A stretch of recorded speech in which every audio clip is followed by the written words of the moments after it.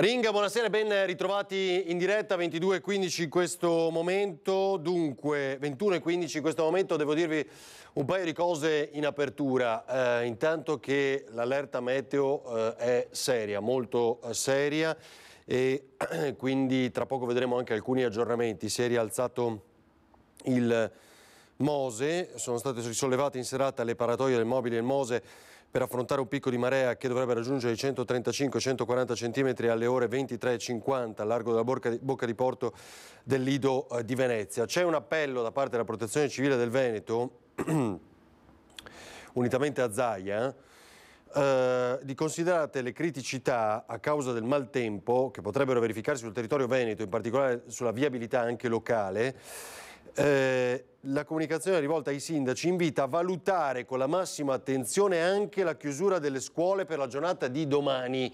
Ed è quello che noi lasciamo qui nel titolo perché probabilmente nella serata, nei prossimi minuti, potrebbero arrivare già notizie eh, di questo tipo.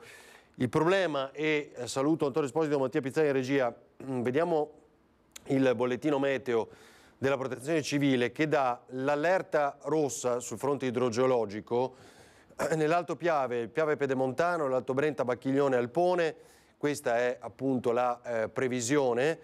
E eh, per eh, questa notte fino alla mm, quasi intera giornata di domani, insomma alle 13.30 di domani, eh, alcuni danni si registrano già nel, per esempio nel vicino Friuli Giulia, eh, forti problematiche nella zona di Udine in particolar modo, voglio vedere se ritrovo un altro bollettino, in realtà è questo poi dal sito della protezione civile che campeggia in questo momento ed è ancora così, da allerta rossa perché c'è rischio idrogeologico, lo vedete appunto in questa immagine, e rischio idraulico nel resto della regione, cioè forti piogge e la preoccupazione, lo diciamo, è eh, seria in queste ore. Vi anticipo solo due altre cose, nella seconda parte, tra meno di un'ora, affronteremo ancora una volta il tema del bus di Mestre con una uh, Photoshop che mostreremo e commenteremo insieme perché è bene guardarla senza giudicare, vedremo tutte le opzioni, ma guardare quell'immagine delle condizioni del bus precipitato a Mestre. Avremo con noi Ilaria Marchiori e l'assessore Boraso eh, per l'amministrazione comunale di Venezia. Eh, giro veloce, saluto perché la vedo già collegata Vanessa Camani, capogruppo del Partito Democratico Consiglio regionale. Buonasera Camani.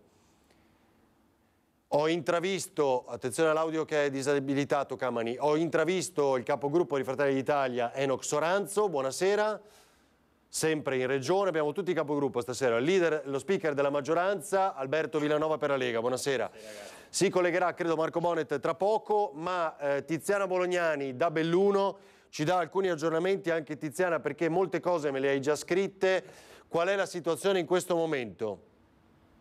È una situazione, buonasera intanto, è una situazione di eh, attesa e eh, se possibile anche eh, con una certa apprensione, perché il bollettino eh, che la Protezione Civile regionale ha emesso questo pomeriggio attorno alle 14, certo con quella colorazione rossa eh, manda il nostro pensiero a cinque anni fa e a Baia. È vero, eh, la situazione non sembrerebbe eh, presentarsi esattamente eh, come eh, con Baia, ma c'è grande attenzione al punto che ci sono già alcuni comuni in provincia di Belluno eh, che hanno eh, aderito agli inviti della protezione civile regionale, quindi la chiusura delle scuole eh, è già stata eh, attivata eh, e disposta dal sindaco di Val di Zoldo Camillo De Pellegrin che l'ha comunicato eh, poco fa. Eh, la quasi totalità dei comuni bellunesi ha attivato il COC, il comune di Belluno lo ha fatto eh, poco fa, il centro operativo comunale è stato aperto al comando di polizia dove è eh, anche operativa da ore la polizia locale con il gruppo comunale di protezione civile che eh, sta girando con le sue squadre il territorio per rilevare eventuali criticità la situazione per il momento è sotto controllo, però la fase più intensa è prevista per le prossime ore. Eh, quello che noi sappiamo è che l'atto previso, l'atto provincia di Treviso, quindi Vittorio Veneto, l'ANAS ha chiuso eh, poco fa per eh, maltempo la statale 51 di eh, Alemagna e l'ha chiusa a Fadalto in via provvisoria eh, in considerazione dell'attivazione del sistema di monitoraggio che è installato sul eh, versante eh, della frana enorme che si vede eh, salendo eh, in autostrada in A27 verso eh, Belluno, salendo verso la destra. Ecco, I sensori hanno registrato il superamento della soglia pluviometrica, si sono accesi i semafori e quindi statale 51 per il momento è eh, impraticabile eh, perlomeno nel lato della provincia di Treviso. Questo è quello che vi posso dire fino ad ora, eh, non ci sono altre, non c'è altro tipo di segnalazioni. La fase più importante dovrebbe scattare dalle 23 in poi per tutta la notte poi con questo bollettino che eh, eh, ci dà uh, una situazione di eh, allerta perlomeno fino alla mezzanotte di mercoledì. Mm-hmm. Allora Tiziana, quindi diciamo di questo appello lanciato alla protezione civile fino ad adesso Val di Zoldo lo ha raccolto, no? Scuole chiuse sì, domani?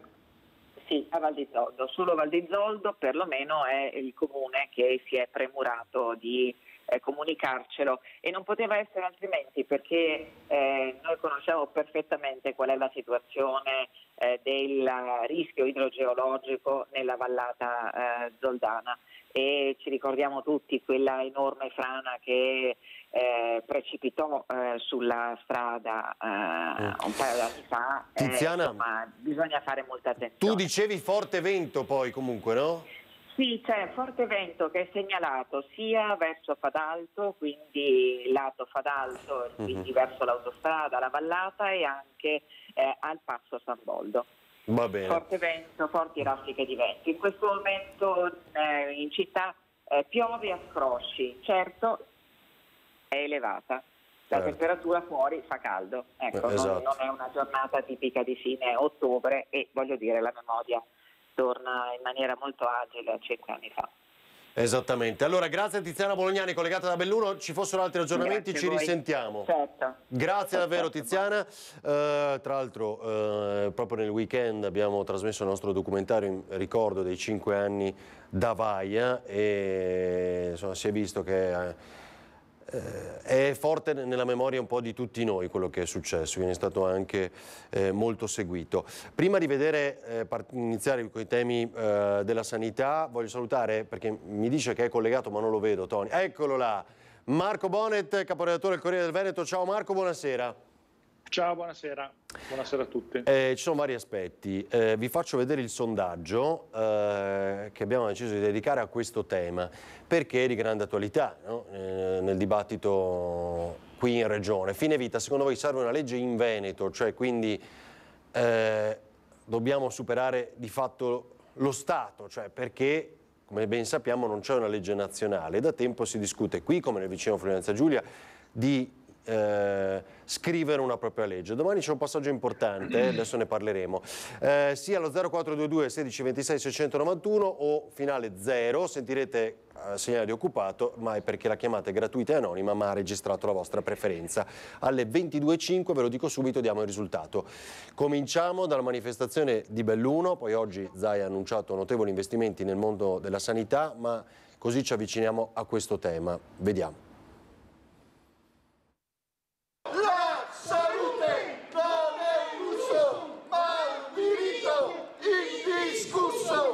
Salute non si vende, la salute si difende. Se vogliamo dignità, investiamo in sanità.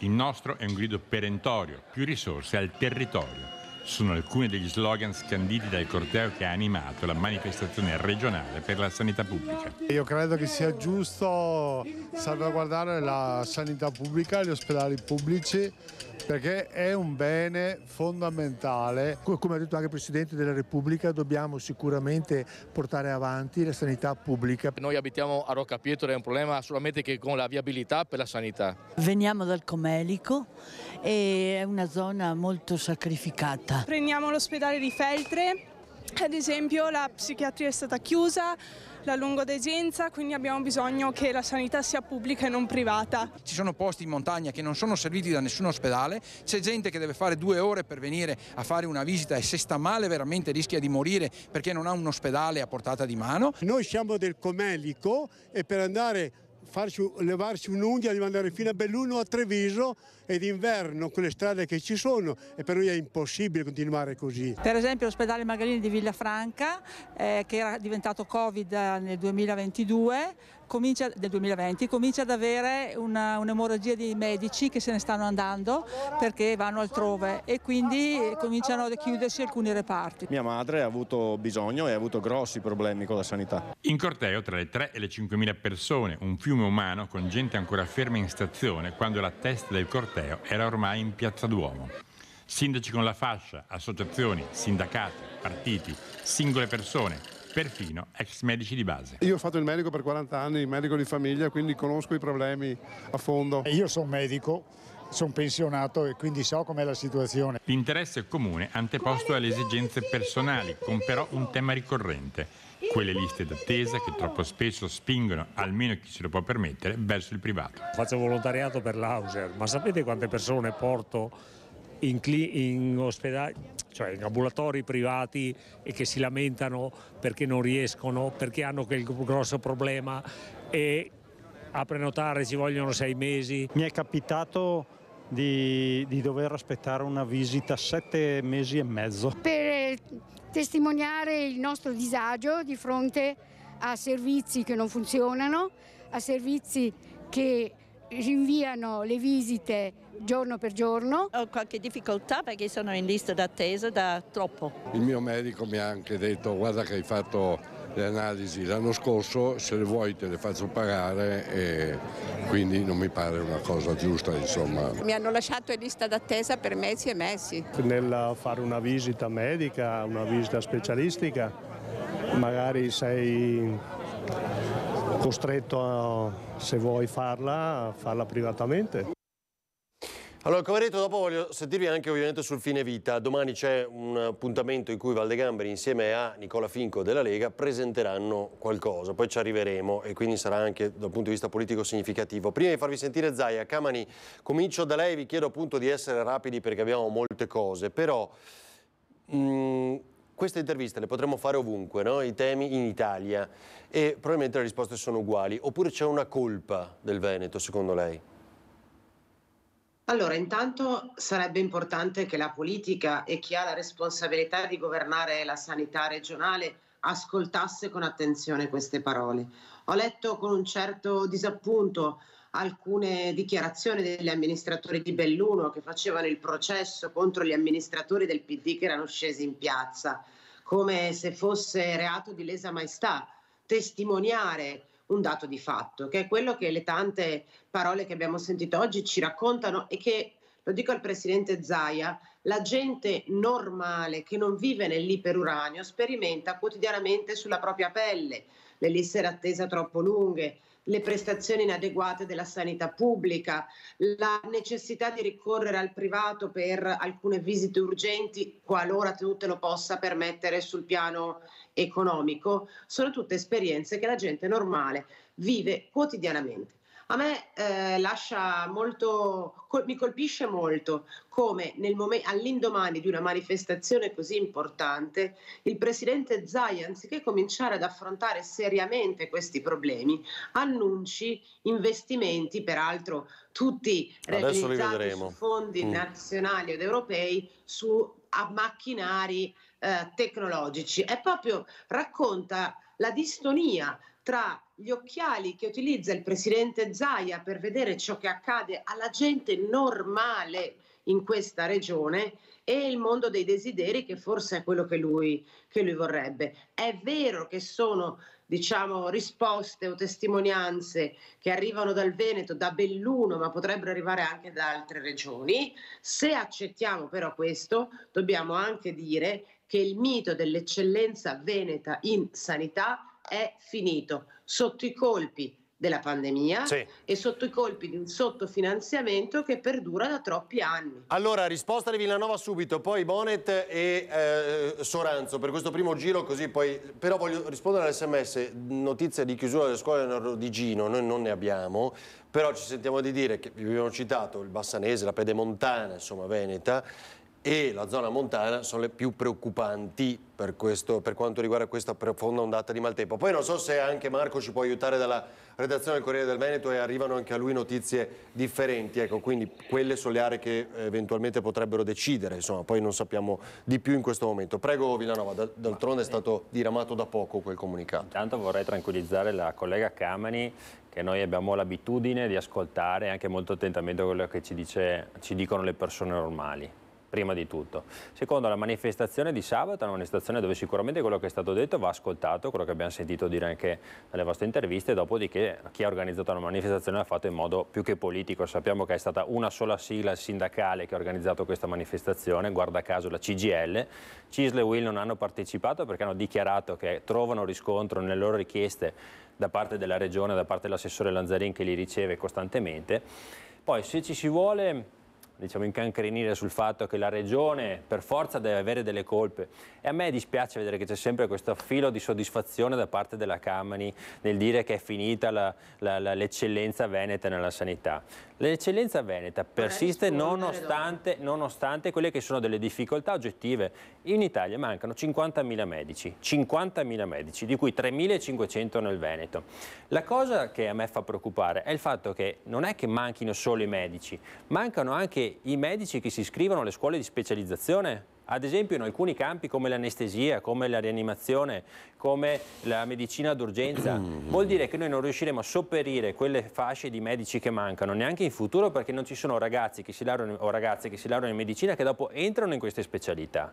Quindi se noi pensiamo che questo sia un problema solo veneto, come sento dire ogni tanto e sinceramente finché lo dice la signora che va in piazza a manifestare che stiamo andando verso il privato, posso accettarlo e l'ascolto, ma quando lo sento dire da esponenti politici, sinceramente mi fa venire la pelle d'oca, perché allora andrei a vedere alcune regioni governate dal PD, a vedere quant- che, pro- che proporzione, che c'entra? proporzione di privato c'è. Allora, per quanto, per quanto riguarda anche la questione delle, delle visite e delle liste d'attesa, dobbiamo allora dobbiamo, sulle visite urgenti siamo messi- ci siamo messi in pari, sulle visite brevi a 10 giorni non anche lì ci siamo messi in pari. Purtroppo sulle visite differite o comunque su quelle programmabili lì c'è un problema. Perché? Perché c'è la carenza di medici, quindi si fa fatica a andare a sopperire a quelle che sono le liste d'attesa che si sono formate anche per colpa della pandemia, ma soprattutto se andiamo a vedere c'è stato un aumento delle prescrizioni, ad esempio sulle risonanze, più 35% in un anno, cosa che va a ingolfare ancora di più una macchina che fa fatica. Ne siamo più che consapevoli e faremo di tutto per cercare di andare a risolvere questo problema. Però bisogna capire che ci sono dei problemi oggettivi sulle quali difficilmente si può intervenire, soprattutto la regione difficilmente può intervenire. Allora, fermi, fermi, aspetti Camani, mi fai vedere eh, Tony Zaia cosa ha detto oggi appunto di questi finanziamenti che ha già citato Camani, poi sentiamo Bonet e Soranzo, dai. Siccome si dice che non si fanno investimenti nella sanità, vi ricordo che l'anno scorso, cioè l'anno passato, noi abbiamo fatto 371 milioni di euro di investimenti. Sto parlando di infrastrutture. Adesso oggi vi diciamo ufficialmente, e vi consegniamo anche un dettaglio di questi investimenti su 17 presidi ospedalieri per 437 milioni e 300 mila euro. Da Palazzo Balbi il presidente della regione Luca Zaia annuncia un nuovo piano di investimenti sulla sanità. L'attenzione per il settore in Veneto è massima, dice. La colpa è che pensiamo a lavorare non a comunicare. I quasi 440 milioni di euro andranno ad adeguamenti infrastrutturali e di ampliamento in 17 ospedali e all'acquisto di una nuova tecnologia basata anche sull'intelligenza artificiale. Tra gli interventi più significativi 58 milioni per la realizzazione dell'Angelino, una nuova struttura vicino all'ospedale dell'Angelo di Mestre che permetterà una maggior distribuzione dell'attività ospedaliera. Le liste d'attesa restano invece un tasto dolente che paga pegno ad un problema strutturale del personale sanitario nel nostro paese. Mancano 3.500 medici in Veneto e 50.000 in Italia. Dall'altro ovviamente c'è un incremento negli anni, di anno in anno, delle prestazioni. Noi 2023 rispetto al 2022, tanto per darvi un dato, abbiamo più 35% risonanze addominali. Ci vogliono medici, ci vogliono 35, 3.500 medici, se facessero 10 visite al giorno sarebbero 35.000 prestazioni al giorno. Praticamente noi azzeriamo le liste d'attesa in tre giorni. Delle 5.000 persone che hanno manifestato per la sanità a Belluno cosa pensi? Penso che sia un diritto della democra- democratico manifestare però è altrettanto vero che un altro diritto democratico è quello di dire che ci sono i numeri che dimostrano il contrario. Dopodiché io rispetto delle idee di tutti, ma dire che è una sanità dimenticata sapendo quanto abbiamo investito siamo disposti a dimostrarlo in qualsiasi istante. Sentir dire che abbiamo chiuso ospedali che non abbiamo mai chiuso o altre robe del genere, si figuri. Allora Marco qual è la tua idea? E poi sentiamo subito il capogruppo di Fratelli d'Italia Soranzo e se per caso hai anche novità che, che arrivano alla vostra redazione per la chiusura delle scuole, eh? causa meteo, prego. No, allora sulla chiusura delle scuole siamo sulla stessa linea vostra, nel senso che è arrivata questa comunicazione ad ora piuttosto tarda della protezione civile che in realtà rinvia ai sindaci la decisione sulla chiusura o meno delle scuole. Quindi immagino che i sindaci abbiano ricevuto come noi poco fa questa comunicazione e adesso debbano assumersi loro la eh. responsabilità se chiudere o meno, come possano deciderlo e poi comunicarlo alle eh, famiglie eh, prima di domani mattina, eh, questo non lo so, mi risulta difficile, dopo per carità molti usano i social network, eh, gireranno quei megafoni nelle strade, non lo so. Al momento comunque non abbiamo evidenza di, di questo ne, neppure noi. Per quanto riguarda il tema della sanità, eh, io eh, faccio questa riflessione, che ci siano dei problemi e che siano dei problemi grossi, questo è sotto gli occhi di tutti e, ed è lo stesso Presidente Zaia ad evidenziare quali sono questi problemi. Ormai da, da diversi anni, non da mesi, da anni, anche lui eh, denuncia le carenze che affliggono il sistema e diciamo che noi da un punto di vista prettamente cronachistico, di lavoro di, di, di giornale, non c'è giorno in cui non siamo chiamati ad evidenziare qualche stortura in qualunque comparto della sanità, perché se parliamo di medici mancano i medici, se parliamo degli infermieri parliamo della fuga degli infermieri verso il privato, se parliamo degli operatori sociosanitari che sono diventati un elemento importantissimo del sistema sociosanitario veneto, anche lì denunciamo carenze di tutti i tipi, c'è il tema degli stipendi che sono troppo bassi, c'è il tema delle specializzazioni a cui accennava il capogruppo Villanova, cioè ci sono, dopo, cito solo questo caso per il tutto, dopo anni in cui abbiamo lamentato la mancanza di borse di studio, di specializzazione nelle università, adesso assistiamo al fenomeno contrario paradossalmente, cioè ci sono borse di studio di specializzazione esatto. in eccesso rispetto al numero dei ragazzi che si iscrivono a quelle specialità. Parliamo di fuga verso il privato, che paga molto meglio, e ormai sono tantissimi i cittadini, quelli che se lo possono permettere, che si stanno organizzando con assicurazioni eh, sulla falsariga del sistema americano. Sono molte le aziende che inseriscono questo tipo di welfare all'interno dei loro contratti, cioè cercano di attrarre lavoratori affiancando allo stipendio normale anche delle assicurazioni sanitarie, per cui poi se tu vuoi andare nel privato, comunque l'azienda ti copre in tutto o in parte la spesa, eh, la spesa che vai a sostenere nel privato. Queste sono tutte cose che raccontiamo ogni giorno e che mi pare che ormai da, sia da destra che da sinistra cioè, siano unanimemente riconosciute. L'indagine su come si è arrivati a questo punto è complicata perché in realtà si stratifica nel tempo, sono stati commessi errori diciamo, in, in, molti anni, non è che è colpa di uno soltanto e a molti livelli. Eh, evidentemente qualcosa è stato sbagliato nella programmazione eh, del fabbisogno di medici, ad esempio, uno per tutti, e probabilmente anche nella pianificazione delle retribuzioni di questi medici, perché se oggi sono i meno pagati certo. d'Europa e se eh, diciamo così assistiamo a vere e proprie, e vado a concludere, distorsioni del sistema per cui noi abbiamo medici che si licenziano dal sistema sanitario pubblico per poi tornare a lavorare negli stessi ospedali pubblici come gettonisti, cioè pagati a turno come medici privati, eh, per, con un, un, esborso per le USL allucinante, perché poi quando tu paghi questi, questi turnisti, eh, abbiamo letto di turni notturni eh, che si protraggono magari nelle 24 ore, che arrivano a essere pagati anche 1000 euro, diciamo, a, fronte di stipendi di medici che sono de, nel pubblico di 3.400-3.500 euro mensili, è chiaro che siamo ormai a Prenderli, un esatto, un terzo in 24 ore di fatto, esatto. ed è un costo maggiore per la, per la collettività. Allora, Soranzo con lei e, e, e con lei ricomincerò dopo la pubblicità sul tema fine vita anche, prego. No, però fammi rispondere su questa cosa della sanità. Arrivo, arrivo, va bene Camani, intanto finiamo il Grazie. giro. Prego Soranzo. Mi sentite? Sì, prego.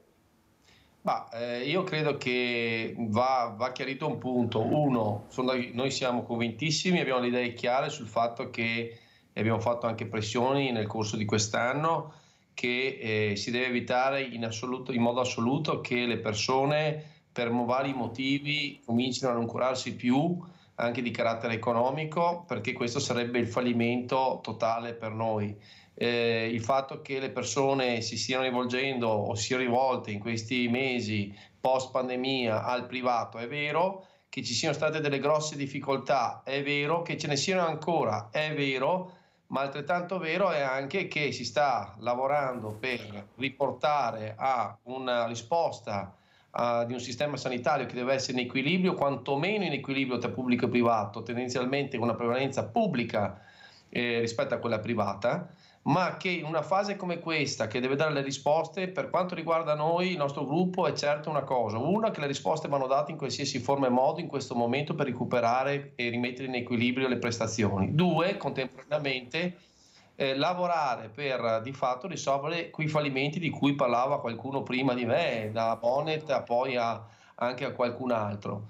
Eh, il, non sono d'accordo sul fatto che non ci siano i responsabili perché da dati, non sono io a dirlo, ma lo tro- si trova anche online, dappertutto, su internet, dove volete, sono anche dati del Ministero. I tagli che sono stati dal 2010-11 fino al 2019 vanno dai 25 ai 37 miliardi.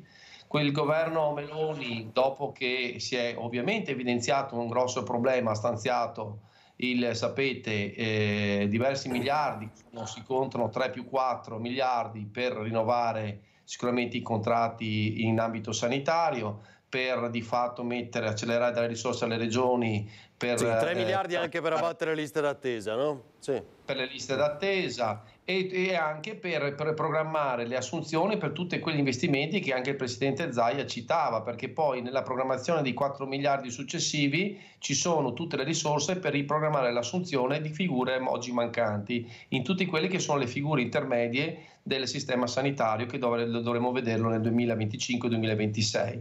La, la, la cosa che oggi però deve essere chiari è che è vero, dobbiamo migliorare ancora, dobbiamo accelerare. Anche nelle ultime relazioni di bilancio sanno i colleghi che so- la, la- la- la Giunta ha proposto nella variazione e all'attenzione dell'Aula a nuove risorse anche nel prossimo mese nella variazione di bilancio che abbiamo in, in approvazione. E, e poi, se posso aggiungere, c'è un dato che secondo me va evidenziato, l'ha detto il collega Villanova.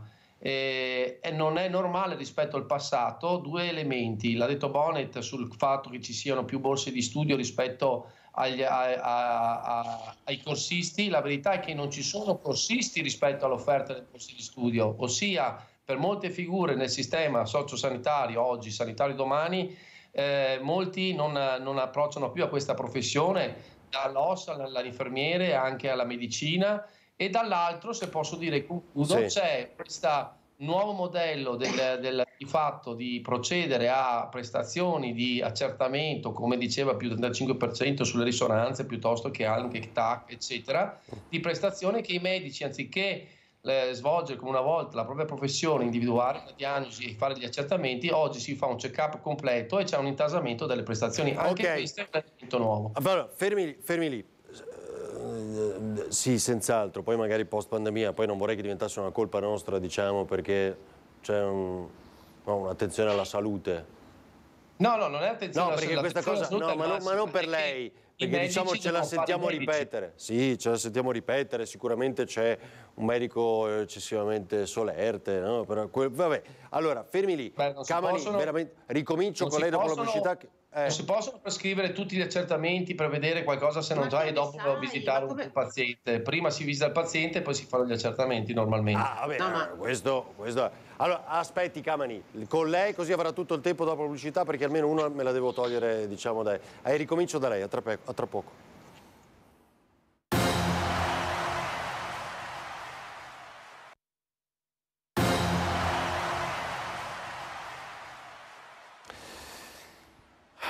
Allora dai, una pubblicità ce la siamo tolta, poi un'altra alle 22 e poi vi ricordo alle 22.10 la seconda parte dedicata alle novità sul bus di Mestre. Camani toccava a lei e poi voglio introdurre il tema del fine vita partendo proprio da Enox Soranzo perché feci vedere un suo post eh, di qualche settimana fa ormai proprio qui a Ring. Prego Camani. Ma molto rapidamente.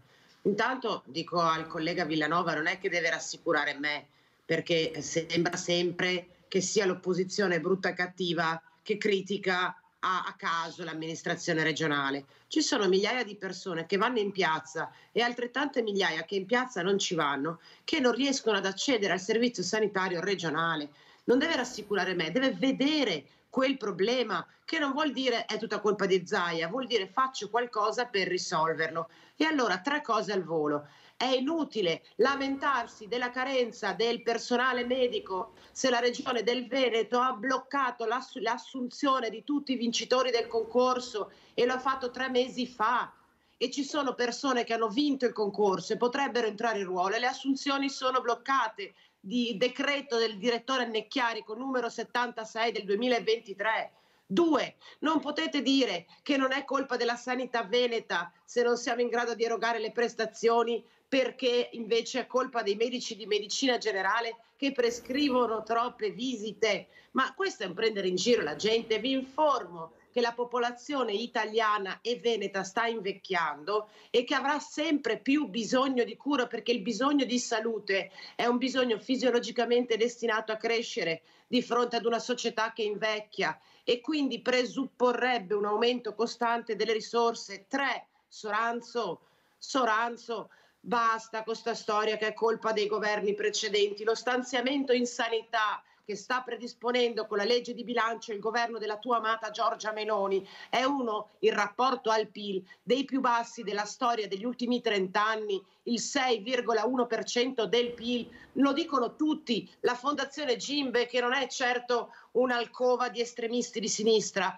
dice che con questi stanziamenti di bilancio la sanità pubblica in Veneto e in Italia è destinata al collasso ma di cosa state parlando? Aspetti, Io aspetti. mi chiedo quando eh. finirete di fare propaganda e comincerete seriamente, con onestà, ad occuparvi dei problemi delle persone, dei bisogni materiali. Va bene, replica Villanova e poi, e se, poi ripar- Eh, riparto Guardi, da, da Soranzo. Dai. Io non accetto minimamente che mi si dica che Eh, la beh. Regione Veneto e noi dell'amministrazione di Luca Zaia non si usi la serietà e l'onestà per gestire la sanità in Veneto. Questo è qualcosa Ma di inaccettabile. Camani, Camani, le lezioncine, le lezioncine, guarda, puoi farle finché vuoi, ma che la nostra amministrazione io- non, non abbia serietà nell'affrontare i le problemi che riguardano la Ma salute dei veneti è qualcosa che, che ti rimando, che ti rimando veramente Ma ma molto, molto tranquillamente. Perché vedi, quando ti ho è ascoltata. Camani, stai un Eh, attimo tranquillo, eh, ma che sei sempre. offeso, ma, ma tu sei sempre. offendi. Allora, prima, prima accusi, prima accusi e, e dopo non vuoi Ma sentire la risposta. Allora, mancano i medici, mancano i medici. Continuate, continuate a dire che è colpa della regione se mancano i medici. Allora, i medici mancano perché è stata sbagliata la programmazione, perché gli specialisti, perché i medici, i medici specialistici, i, numeri, i numeri che riguardano i medici avete specialisti, la regione non può intervenire Aspetti, e non Camani. ha mai potuto intervenire per la Ma mancanza è di quei medici. Avete Per quello che riguarda i medici di base, la regione poteva intervenire solo in maniera residuale perché i Non numeri venivano vero, dati dal Ministero bugia, della Ricerca e il. Ministero della Salute.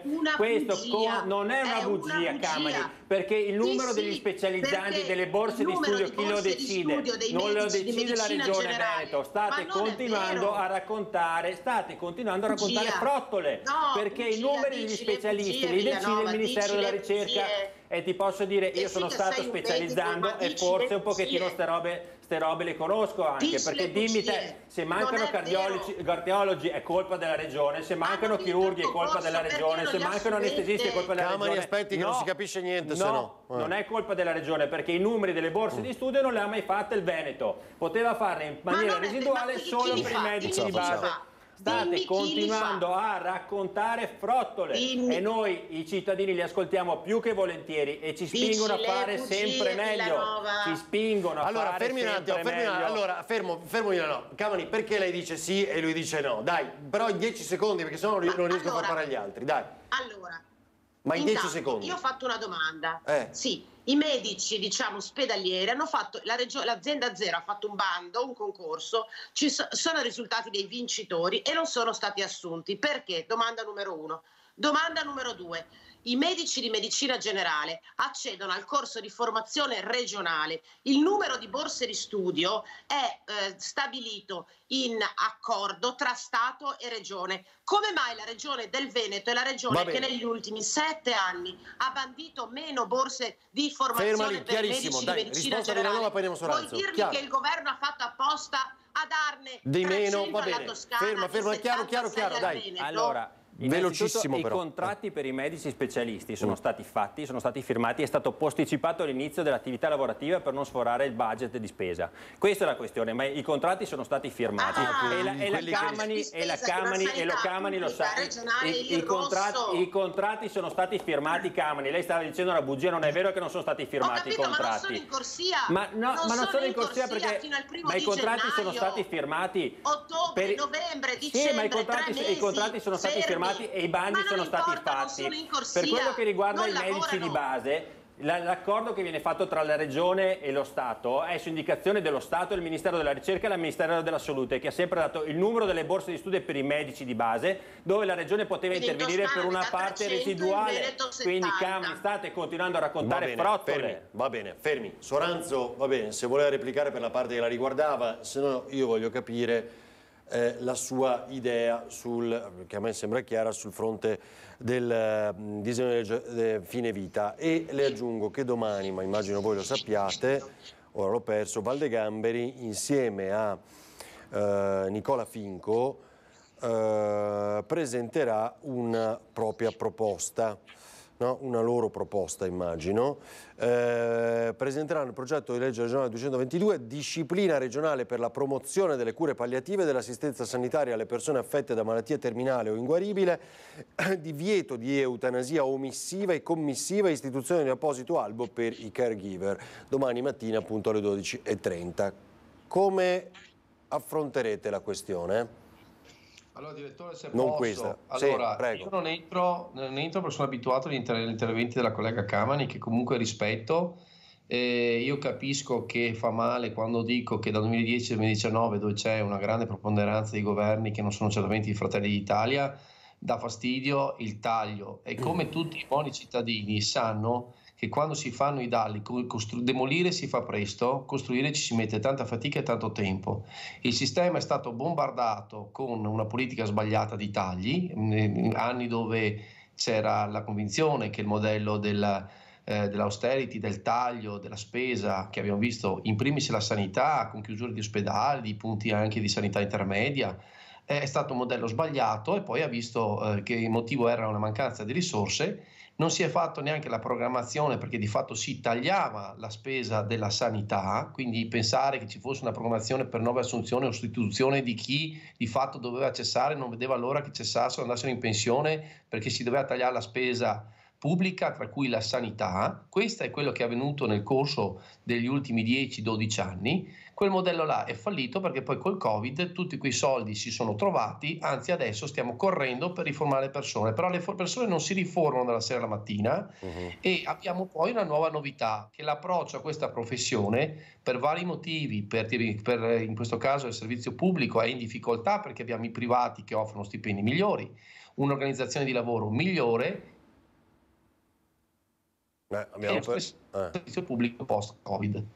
Quindi adesso, siccome noi siamo chiamati a dare delle risposte, ha ragione, credo, il collega Villanova di non accettare la polemica. Eh, è facile dire a chi il PD fino a qualche settimana fa criticava il governo che avrebbe messo un euro sulla sanità e poi la manovra prevede 17 miliardi eh, e quindi dà prova di non solo intervenire immediatamente per quello che può per, per, quello che può, ma anche pensare ai prossimi anni anche per le strutture di investimenti che sono finanziati col PNRR, che sono note da diversi anni. E questa è cosa che non era stata prevista da nessun governo precedente e che invece se ne sta facendo carico il governo Meloni. Però se, Va bene. Allora- questo, questo poi darà fastidio, fa sorridere, a me invece fa, dà fastidio sorridere perché Ma i no, veneti cosa, stanno PNRR risposte, non era visto dai da governi sorridere. precedenti. C'è una risposta, tagliati c'è una risposta, chiedo scusa, l'edu- l'educazione è il pilastro di una buona civiltà e i veneti credo che lo siano, collega Camani, quindi io sono stato in silenzio, lei abbia la buona educazione di ascoltare.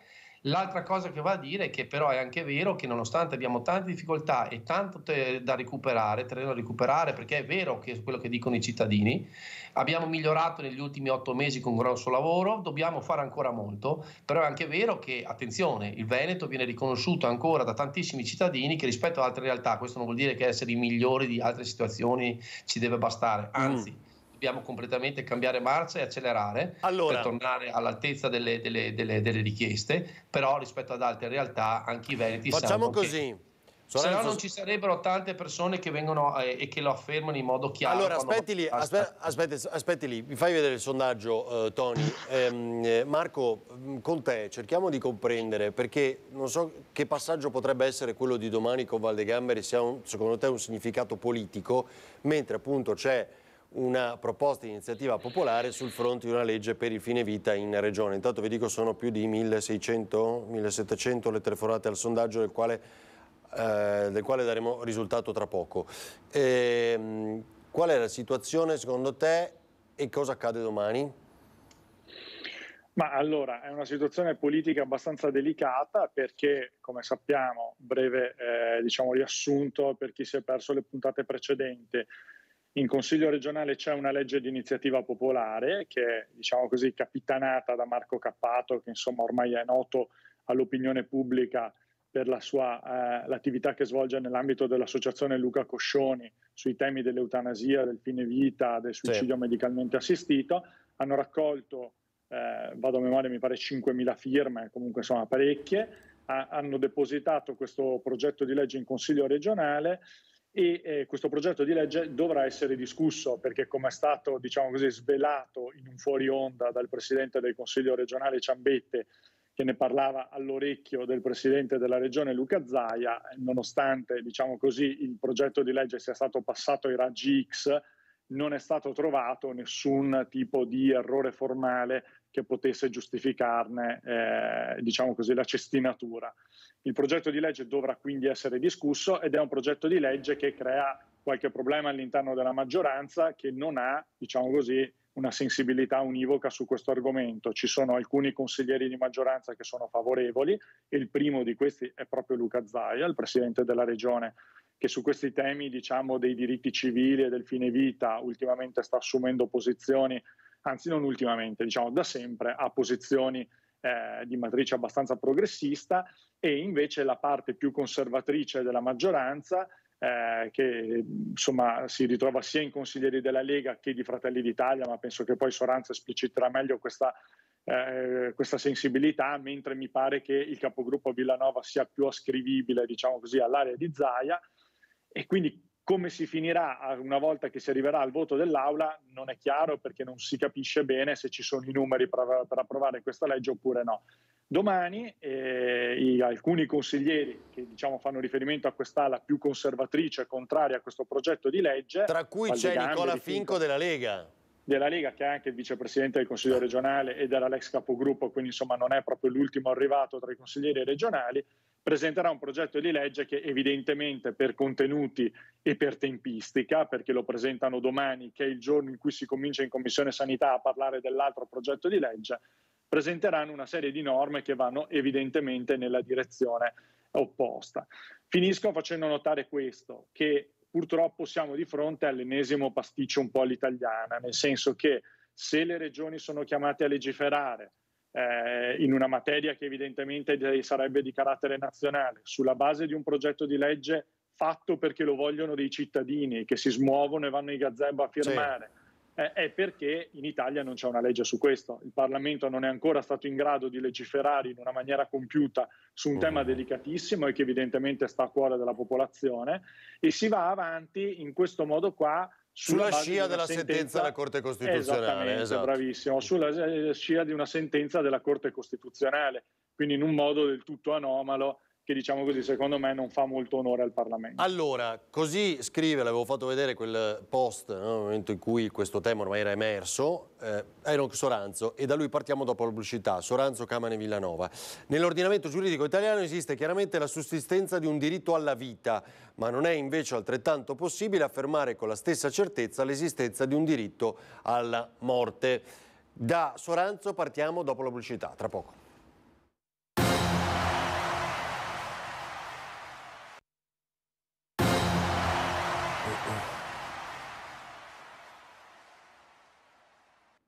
Soranzo, allora comincio da lei. Al sondaggio di questa sera cosa risponderebbe?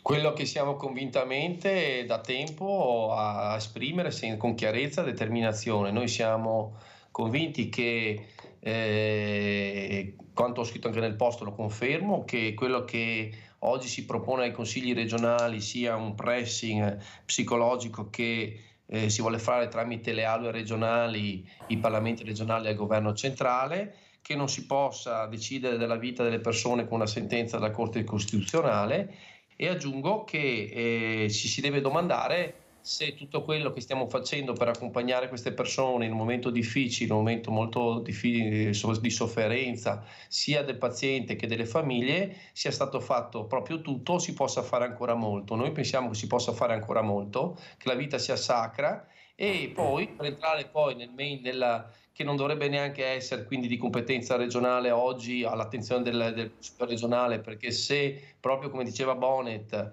eh, se si deve trattare un argomento di questo genere sia di competenza nazionale proprio perché ci sia una legge che garantisca la medesima situazione in tutto il territorio nazionale e non con differenze da regione a regione, perché sarebbe un grave, un grave davvero guaio, un pasticcio, su un tema così delicato, così complesso, ma soprattutto importante. Aggiungo inoltre poi che come ormai eh, molti hanno potuto eh, capire, secondo noi, e non solo secondo noi, ma anche a pareri autorevoli, la, le- la legge regionale di iniziativa popolare eh, proposta al Consiglio regionale oggi e all'attenzione domani della Commissione Sanità presenta almeno quattro punti di incostituzionalità. Cioè? E, uno, per esempio, l'obbligo di prestazione sanitaria a supportare il suicidio eh, contrasta con la competenza eh, che di fatto sancisce la Corte Costituzionale, che contrasta con la Corte Costituzionale, con eh, la mh, Commissione per i diritti umani europea e anche la Costituzione stessa nell'articolo 19. E anche l'obbligo della prestazione sanitaria che questa proposta introduce, introduce di fatto un nuovo LEA che è una competenza esclusivamente eh, di carattere statale, quindi anche questa è un livello essenziale di assistenza, sì. E Mm. Certo, e altre parti ancora, poi si dice che di fatto non ha nessuna, eh, la parte economica la tralascio perché oggi è una cosa che di fatto avviene secondo me dopo e tanti altri motivi ancora. Cioè ci sono dei rilievi dire... incostituzionali in questa proposta Ma di legge? assolutamente, in modo certo e chiaro. Allora, Camani. Ma guardi, io credo che su questa proposta di legge si sia volutamente fatta una divisione diciamo, dell'universo in due parti e credo sia l'approccio più sbagliato col quale noi ci dobbiamo avvicinare a questioni così delicate. Ci sono due piani della discussione. Il primo piano è quello che riguarda la questione politica, trattino etica, che riguarda il tema del fine vita. Io invito eh, a leggere con attenzione chi ci ascolta la sentenza della Corte, la quale sentenza non aggiunge nulla rispetto a quanto già esiste nella legge nazionale. Esiste già, ed è del 2017, la conosco abbastanza bene, una legge che definisce le modalità del fine vita e che prevede che una persona, in virtù dell'articolo 2 della Costituzione, che è quello che garantisce alcuni diritti inviolabili della persona, e dell'articolo 13 che eh, tutela la libertà personale, dicevo c'è una legge del 2017 che autorizza già una persona in determinate condizioni a poter chiedere l'interruzione di alcuni eh, presidi sanitari che la mantengono in vita e ad ottenere la sedazione profonda accompagnamento, come accompagnamento alla morte. La sentenza della Corte non dice nulla in più di quello che è già scritto nella legge, ma si limita semplicemente a circoscrivere l'ipotesi di reato istigazione al suicidio, distinguendo tra chi istiga al suicidio, cioè contribuisce fattivamente a far sviluppare e maturare la decisione di togliersi la vita di una persona, tra, con la fattispecie di chi aiuta al compimento della messa in atto della fine della propria vita di una persona che ha già pro, eh, pienamente, in maniera pienamente consapevole, determinato a fare questo. Quindi c'è un piano di discussione che riguarda il tema etico e politico e poi c'è una questione tecnica legislativa che è quella che Sì. ci è capitata addosso a livello regionale. Ora dico semplicemente due cose, anche perché alcune delle considerazioni tecniche che ha fatto Soranzo in parte le condivido anche. Spero che da domani ci sia anche occasione di parlarne in maniera più approfondita durante la commissione. Però un tema su cui ha ragione Soranzo, lo dico insomma eh, sapendo esattamente quanto pesa quello che sto dicendo, e cioè che questo è un argomento su cui dovrebbe legiferare lo Stato. Ma, eh, certo. Quindi dico a Soranzo e dico a Villanova che rappresentano i Il partiti governo, che oggi sono sì. in maggioranza in Parlamento. La facciamo questa legge Risposta. perché una legge nazionale su questo tema esiste. Nella legislatura precedente era stata approvata alla Camera e, e fermata al Senato. Approvata alla Camera con il voto favorevole del PD e contrario della Lega di Salvini e di Fratelli d'Italia. Riprendiamo in mano quella legge perché dire che non si può fare a livello regionale e non fare niente con i numeri che hanno per farla A Roma. Ferma lì, ferma lì, ferma lì. Allora, Villanova, siamo già fuori di due minuti. Villanova e poi diciamo scenari con Marco Bonet. Prego. Beh, io, io concordo sul fatto che la legge dovrebbe essere fatta a livello nazionale, dopodiché io eh, intervengo su quello che riguarda la legge che arriva in regione, in consiglio regionale. Allora, non sono... Quella di domani, diciamo... Quella che va in consiglio in eh, commissione domani. No, non quella che arriverà No, all'idea. que- quella vedremo.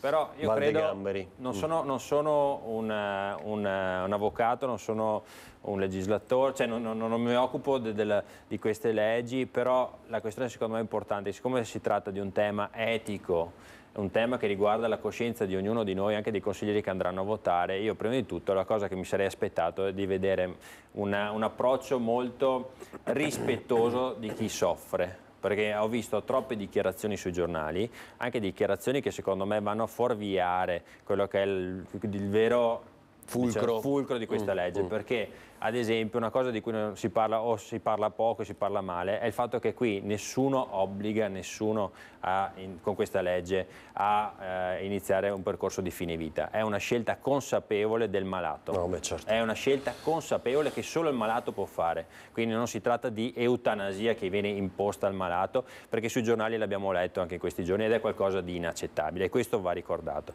Dopodiché per la mia esperienza personale, formativa e anche lavorativa di quando lavoravo in ospedale, io sono favorevole a questa legge, però posso dire ho grande rispetto anche per chi la pensa in maniera diversa dalla mia, perché Certo. credo che su un tema come questo non ci sia il giusto e il- e lo sbagliato, ma ci sia solo la questione di intervenire affinché chi soffre possa avere una via d'uscita che sia dignitosa dalla malattia e dal dolore. Che possa scegliere o meno. Allora- nessuno, nessuno obbliga a prendere una decisione. e Risultato va- del va- sondaggio, eh, 1800 telefonate, mi fai vedere il risultato e con Marco vediamo un po' gli scenari allora da domani in poi. Cosa dicono i nostri telespettatori? Serve. Sì per l'86,9%, stragrande maggioranza. Vai Marco. Beh, diciamo che ancora una volta Zaia, che si è intestato questa battaglia, si dimostra un attento conoscitore dell'umore dei Veneti, delle- del popolo di questa terra, nel senso che è evidente che il risultato del sondaggio parla da solo. Dal punto di vista politico, io non lo so che cosa accadrà quando la legge arriverà in aula, se si salderà una maggioranza trasversale che va dall'opposizione che mi pare tutta indicativamente a favore del progetto di legge, per quanto con gli aggiustamenti di cui magari parlava Camani, e eh, la- la- quella parte di maggioranza che fa riferimento al Presidente. Non credo onestamente che questa cosa possa scatenare una crisi di maggioranza o creare un caso politico, perché come abbiamo sentito da tutti e tre i capi di gruppo che sono intervenuti questa sera, comunque si tratta di un tema che va ricondotto alla libertà di coscienza e quindi non credo che ne possa nascere un caso politico tale da fare, come pensa qualcuno, addirittura traballare la maggioranza. Ecco, non mi sembra questo un tema tale da aprire un caso di questo tipo. Va bene, allora... Eh... Sì, però vabbè, tanto ormai siamo fuori di 5 minuti, dai. No, su, que su, questo tema, per quello che riguarda la, il gruppo che guido io, ci sarà assoluta libertà di coscienza e nessun vincolo di maggioranza, proprio perché è un tema etico e quindi ogni consigliere potrà votare come ritiene senza avere nessun vincolo di maggioranza. Quindi mh, non ci sarà nessuna crisi di maggioranza, nessuna, nessuna crisi all'interno del, del, del, gruppo perché siamo partiti da subito con l'idea di lasciare libertà, libertà di voto ai nostri consiglieri. Va bene, allora eh, voglio ringraziare Vanessa Camani, eh, Marco Bonet, Enox Soranzo e Alberto Villanova. Ora pubblicità e poi torniamo sulla strage del bus di Mestre con un'altra novità e una foto che vi faremo vedere tra poco.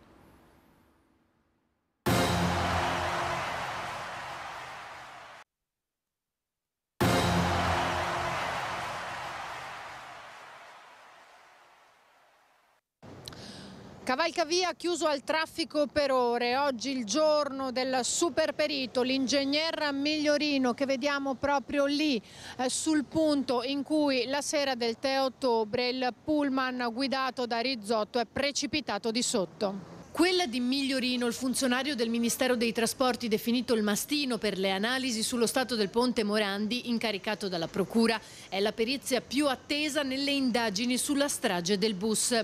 Presenti la PM Laura Cameli, titolare del fascicolo, i periti delle parti civili, i legali e i periti di parte dei tre indagati, l'amministratore delegato della linea, Fiorese, e i due dirigenti del comune di Bussolo e Cesaro. Al momento, come ribadito dal procuratore Cherchi, nessun altro è scritto nel registro degli indagati. Per i rilievi e le misurazioni, Migliorino si è avvalso di un drone che è stato fatto sorvolare lungo il tratto da cui è precipitato il bus.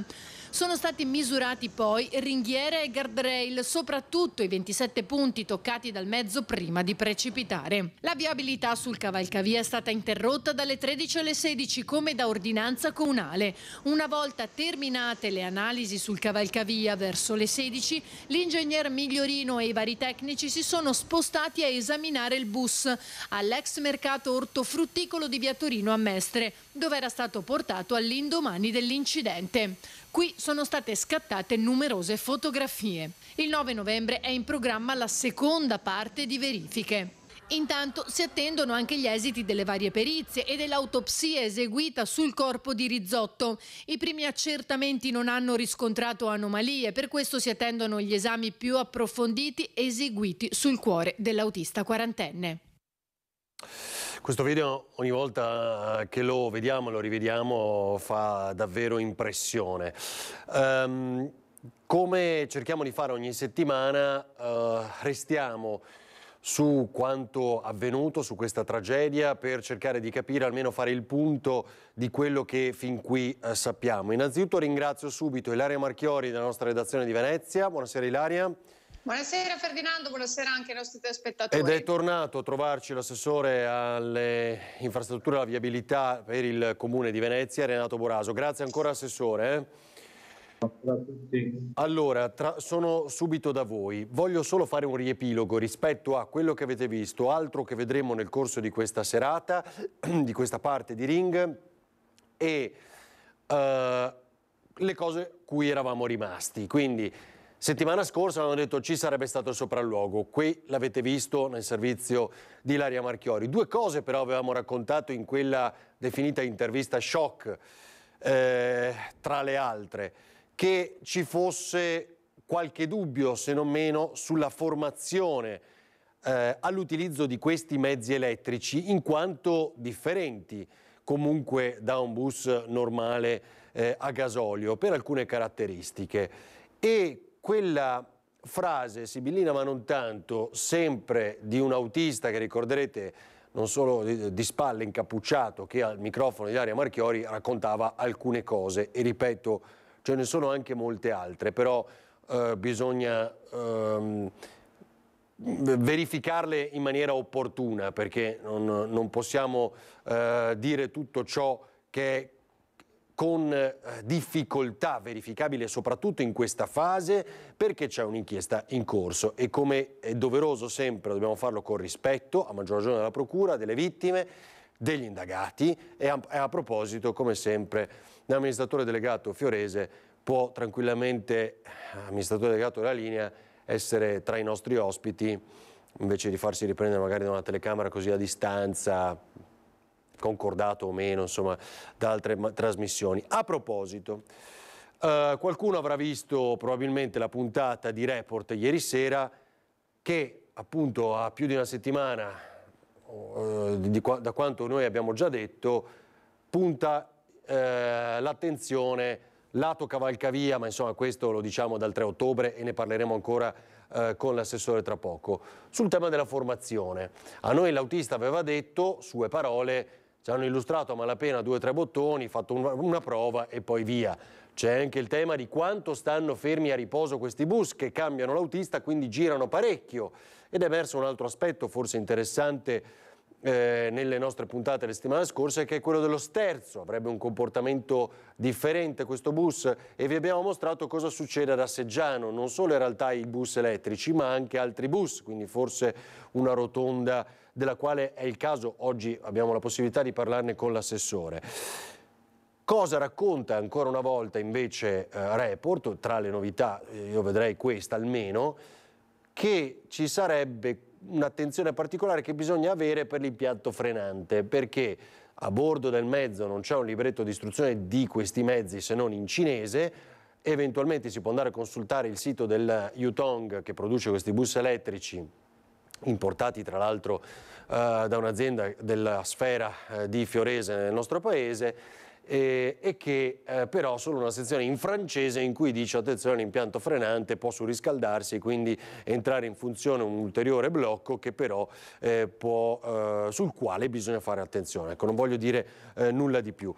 Lato inchiesta, scusate ma è giusto secondo me riepilogare un po' di cose almeno tre filoni. La scatola nera, adesso è stato affidato l'incarico all'ingegner Chemello, quindi analizzare queste riprese ma soprattutto il comportamento del bus il cavalcavia e avete visto il super esperto, il perito eh, Migliorino in azione e poi un'ulteriore verifica post ehm, in particolar modo sul cuore, quindi un altro esperto che dedicato e eh, eh, particolarmente competente su temi e problemi cardiaci che quindi analizzerà il cuore di Rizzotto, l'autista morto nell'incidente del 3 ottobre insieme a 20 passeggeri. Ora, io spero di aver riepilogato rapidamente tutto, poi vedremo altri eh, servizi. Ilaria, a te anche per dubbi, diciamo ulteriori precisazioni che vuoi fare.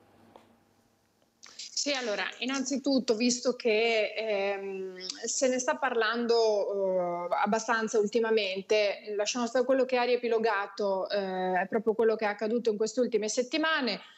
Abbiamo visto ovviamente eh, un po' tutti eh, questo servizio eh, di report, quindi eh, a me, ehm, io vorrei a questo punto entrare nel vivo di una questione insieme all'assessore Boraso che abbiamo qui. Allora, innanzitutto due cose. Primo, di commentare la questione che riguarda quella particolare rotonda di Asseggiano, se non l'ha vista poi ehm, glielo, gli riproponiamo il servizio così eh, magari eh, può risponderci in maniera più chiara. E poi Assessore possiamo provare a rispondere una volta per tutte così eh, diciamo fughiamo ogni dubbio perché sono stati effettuati prima questi interventi per quanto riguarda questo ormai famoso eh, rifacimento del cavalcavia di Via Torino, questi 21 milioni, vogliamo eh, spiegare un po' a tutti cioè perché, perché ovviamente il servizio di, di report dell'altro, intendi dire? Esatto, mm. sì. Spieghiamolo un po' a tutti perché è ovvio che eh, il servizio di report ha puntato non poco su questa questione. Abbiamo visto, hanno tentato anche di fermare il sindaco che non ha risposto, ma eh, a questo punto... Eh, no, Boraso invece si è mostrato chiara. disponibile, devo dire. No, Boraso invece ha risposto, quindi... Eh, prego, Assessore. No, allora, io vorrei che ci concentrassimo che le cose sono completamente diverse. Cioè? Una, una cosa sono stati 20 milioni di finanziamento Mise, Ministero Sviluppo Economico. che è stato concordato che quel cavalcavia nuovo fosse realizzato dal Comune di Venezia. Durante il Covid siamo riusciti, do, dopo le stesse trafile burocratiche, progetto preliminare, delibera di giunta, progetto definitivo, delibera di giunta, gara d'appalto e siamo riusciti a iniziare l'opera. È cominciata sotto il profilo progettuale prima, ma attenzione, ripeto, non mescoliamo l'acqua con l'olio, nel senso che quello è un finanziamento del Mise, Ministero Sviluppo Economico, che nasce per realizzare un, un cavalcavia in quella posizione, per risolvere il nodo di via Torino, quindi il collegamento da e per Venezia verso la terraferma e da e per verso la zona industriale, Fincantieri, Vega, eccetera. Mm. Ed è chiaro che è partito. Nel contemporaneità, lo ribadisco e me ne prendo tutte le responsabilità, l'ho già eh, richiamato eh, anche agli organi competenti eh, della Procura della Repubblica che mi hanno chiesto di informarli dettagliatamente. Cioè lei è stato sentito in procura, vuole dirci questo? Sì. Adesso perché è passato un mese. Mm, eh, ho ovviamente eh, comunicato ciò che sapevo come persona informata sui fatti, direttore. Quando, quando allora, è stato chiamato in procura, posso chiederle, Assessore? Non lo dico quando sono stato chiamato, mm. ma dovete capire che dopo il gravissimo incidente del 3 sono stato chiamato a dover eh, eh, spiegare dei fatti che eh, sono eh, sotto gli occhi di tutti. Noi siamo arrivati 2000, a luglio 2015 e già nel 2016 quando qualcuno ci ha detto che quella, eh, quella struttura era in carico alla manutenzione ordinaria della città di Venezia, abbiamo cominciato subito, il sindaco e l'amministrazione, a occuparsene, subito, ed è tutto documentato. Poi la cosa si è aggravata, lo dico in termini tecnici, non è che uno, con la disgrazia del ponte Morandi. Non possiamo dimenticarci quello che è successo il 14 agosto 2018. E allora io stesso lo dico, perché poi c'è stato anche eh, qualche crollo di qualche pezzo di cemento, insomma non, non solo qua, eh, abbiamo ereditato tanti cavalcavia ed è evidente che teniamo sotto controllo. E allora è, è talmente evidente la cosa che abbiamo fatto il monitoraggio centimetro per centimetro, li vedete quei piloni, si vedono anche nelle immagini purtroppo li vedete i piloni, eccetera.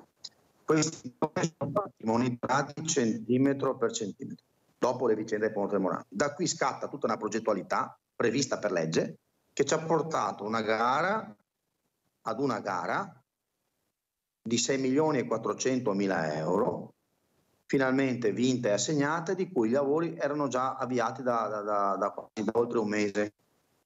La disgrazia è stata talmente in, incredibile e enorme che eh, siamo entrati, eh, questa, questa, cosa si è inserita, questa disgrazia enorme, mentre e io non ci ho dormito, perché voi capite che, che non è, eh, cioè pensare neanche la cosa più impensabile poteva succedere che mentre stiamo rimettendo a posto in sicurezza una, stru- una struttura che ricordo a tutti, Avarino, lo ricordo, mi dispiace di questa cosa, non l'ha fatto il Comune di Venezia questo cavalcavia, come gli altri cavalcavia che abbiamo allora, è sempre pensabile, per carità, noi in cuor nostro abbiamo fatto quello che potevamo per arrivare a un'opera pubblica Sora importante. È chiaro, è chiaro, cioè dal 92 in poi ci sono state ben diverse amministrazioni per metterlo in regola. Mm. Eh, non è molto chiaro per tutti, no, non è molto chiaro per tutti. Non è molto chiaro, lo dico ancora, lo, lo, lo so che sono ripetitivo, ma è anche tempo e ora, siccome eh, ci diciamo che questo cavalcavia non è di proprietà del comune di Venezia. Chi sta facendo le indagini stanno capendo in maniera dettagliata di chi è la proprietà.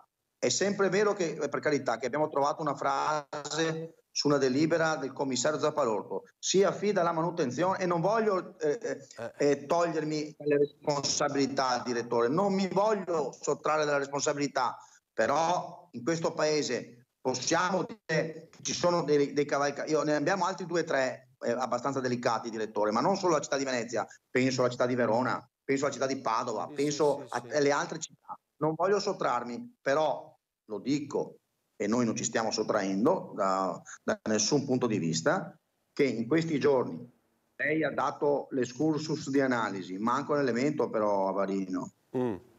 emerso mi pare mercoledì. Cioè? Che una parte della verità, ed è questa una mia valutazione che lo dico da, sia dal primo giorno, sta nel mezzo che si è schiantato sotto il cavalcavia. Per carità, è giusto che ci sia il super perito sul guardrail, è giusto che ci sia la super perizia sulla dinamica dell'incidente, è giusto che vadano a verificare se i corsi di formazione, le autorizzazioni di questi mezzi, ma credo che lei sta facendo vedere le immagini, direttore. Credo che la verità, una gran sia in quel mezzo. E quindi mi auguro che presto arrivino anche i periti incaricati dal Tribunale a verificare il mezzo se sussistano dei guasti a quel mezzo. Quello dell'incidente di via Carducci, intende dire? No, io aggiungo tutti e due, sia questo del, del, del 3 di ottobre che anche quello che è successo in via Carducci. Allora, aspetti un secondo, questo... perché ha detto tante cose importanti. Allora, aspetti lì, aspetti lì. E, Tony, poi vediamo l'altro pezzo perché mi interessa molto una fotografia che Ilaria Marchiori ha messo nel suo servizio l'altro giorno e conclude questo prossimo servizio che vedremo tra poco. Eh, ma veramente telegrafico, cioè lei dice non confondiamo quei 20 milioni di euro che riguardano un altro cavalcavia, certo fatto prima ma era un finanziamento mise, quindi un cavalcavia che doveva servire e migliorare il lavoro delle imprese, ecco perché il Ministero dello Sviluppo Economico, no? Cioè non potevo utilizzare quei fondi per sistemare questo cavalcavia. No, miscoliamo l'acqua con l'olio, non si Perfetto, può. Perfetto, fermo lì. Secondo aspetto, non è che abbiamo atteso che arrivassero i fondi PNRR, l'iter è partito molto prima che sapessimo dell'esistenza del PNRR, no? Cioè, perché eh. Eh, arriva con la pandemia. Però, voglio dire, a quel punto non è che sia atteso che eh, si instradasse quel mh, percorso fondi PNRR, quindi rallentasse il rifacimento della manutenzione che è in capo a voi? Abbiamo utilizzato quella voce di bilancio perché era in questo momento la più eh, emergente, altrimenti avremmo utilizzato una voce di, ordinaria del, del, bilancio. Cioè vi ha, paradossalmente vi ha concesso una velocizzazione?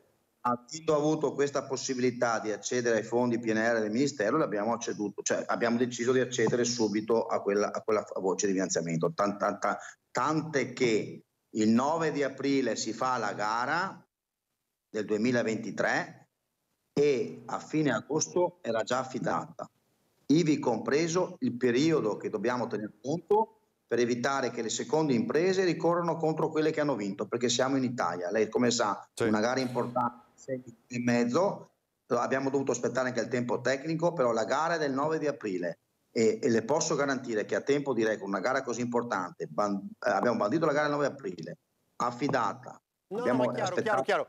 Cioè, io le, le, davo un titolo, poi Tony veniamo al servizio e sentiamo Ilaria, cioè il paradosso è che in realtà attingendo ai fondi PNRR probabilmente avete fatto prima l'inizio lavori di questo cavalcavia sì, incriminato. Non è un paradosso.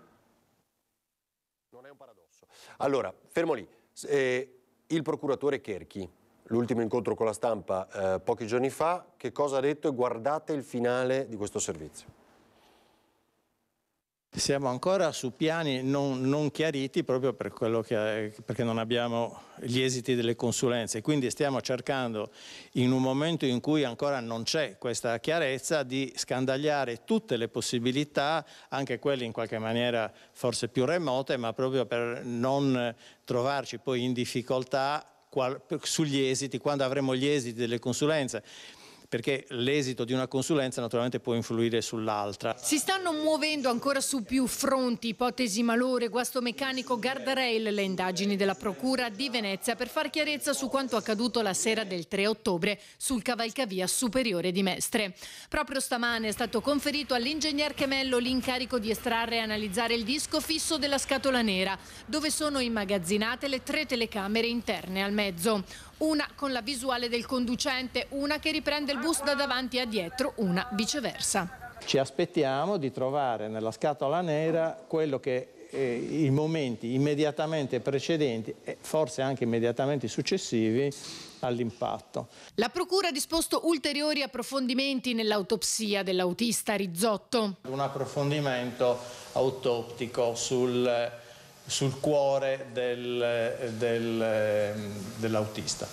Eh, abbiamo ritenuto anche in questo caso di fare probabilmente una cosa in più, ma eh, siccome poi alcune cose si devono fare subito naturalmente, e in attesa di avere un quadro complessivo e quindi faremo un accertamento ulteriore rispetto alla Uh, situazione del cuore nominando un perito che sia, un consulente scusate, un consulente eh, particolarmente esperto in tema di valutazione cardiaca. Faremo anche gli accertamenti sul cellulare dell'autista. Attesa poi per l'esito della maxi perizia dell'ingegner Migliorino su guardrail bus, da verificare le componenti meccaniche, elettroniche ed elettriche, batterie comprese. Verrà effettuata un'indagine approfondita su sterzo, semiasse anteriore e sistema frenante. Una delle risposte potrebbe proprio trovarsi nella parte mancante dello sterzo, come si vede in queste immagini. Dov'è finito? Cosa può essere accaduto quella sera? A questo potrà rispondere solo il perito. Il prossimo sopralluogo sarà il 9 novembre. Allora, avete visto anche queste foto, ora Antonio ce le riproporrà, eh? però mi hanno colpito e non poco quando le abbiamo viste per la prima volta con Ilaria Marchiori. Intanto dico che oltre ai 6 bus già tornati, su 18 tornati in circolazione ce ne sono altri 6, quindi si è a 12 su 18 che sono tornati in circolazione, adesso l'assessore ce lo confermerà.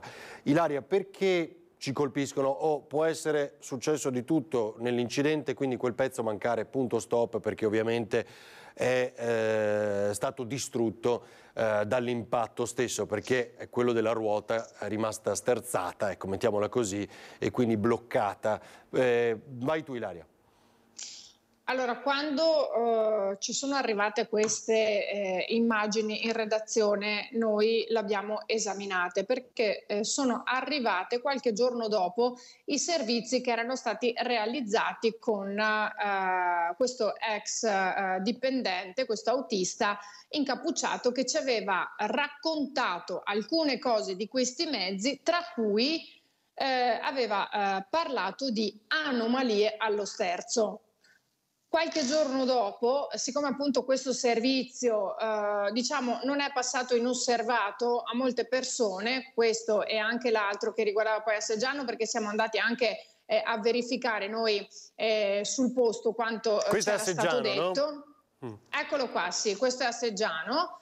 E, ehm, e ci è stato proprio fatto notare come in, eh, nel mezzo quell'incidentato che adesso si trova lì eh, all'ex deposito manchi effettivamente una parte dello sterzo nella parte eh, destra dove era cerchiato, quindi eh, diciamo non apparteneva al semiasse. Ora nessuno di noi è meccanico, dunque le nostre conoscenze non sono approfondite, però è chiaro Può essere appunto che si sia perso, eccolo qua, si sia perso, ripeto, nell'incidente. Può non significare Certamente. nulla, però è chiaro. Noi, noi mandiamo in onda un'intervista shock, diciamo, comunque, esclusiva, con questo ex autista che dice, ragazzi, guardate che quello sterzo ha un comportamento diverso, ecco, mettiamola così, no? tant'è che a Rasseggiano devono fare più manovre. Poi, ripeto, anche lì può essere stato un errore dell'autista che non, non, ha, non, ha, preso la curva della rotonda bene, eh? quindi questo dobbiamo sempre dirlo.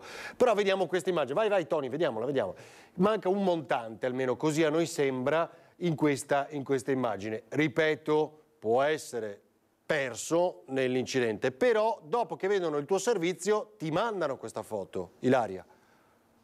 Esattamente, questa foto mi è stata eh, portata in redazione eh, con tanto di spiegazione di quello che abbiamo appena detto e effettivamente noi abbiamo eh, pensato di mostrarla anche ai nostri telespettatori proprio perché la differenza che si vede qui eh, è notevole. Ora ribadiamo un'altra volta il concetto perché sia chiaro, noi non stiamo, eh, non stiamo facendo eh, i tecnici del caso perché eh, tra l'altro poi voglio dire l'assessore Boraso ha detto ok non concentriamoci solo sul guardrail ma ricordiamo che il perito, eh, l'ingegner Migliorino poi si è recato anche dove si trova il bus e lì ha esaminato varie parti del bus, sono state scattate fotografie, eh, girate alcuni video, per cui un approfondimento è stato fatto anche proprio sul mezzo e anche eh, da quello che appunto poi ci è stato riferito proprio sulla parte dello sterzo l'apparato Però, frenante. Ilaria, per cui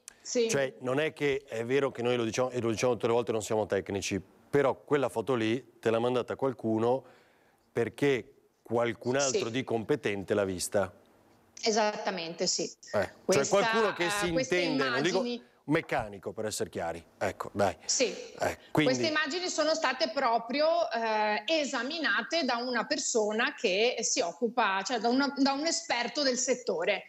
E, e non ci sono state mandate a caso perché eh, dopo aver sentito appunto questi servizi eh, in qualche modo eh, ce, l'ha voluta, ce l'ha voluta portare eh, perché a suo, a suo dire avvalorava la tesi di quanto ci aveva Allora. raccontato questo autista. Lasciamola lì questa, questa foto, eh, farla vedere ogni tanto eh, Tony. eh. Allora, Assessore, due cose flash che le chiedo adesso.